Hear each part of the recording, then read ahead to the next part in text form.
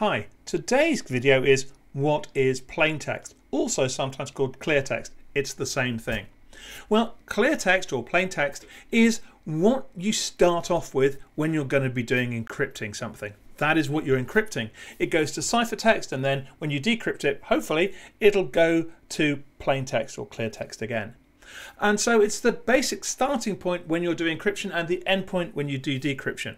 One important thing to understand is just because it's called plain text or clear text doesn't mean that it's text.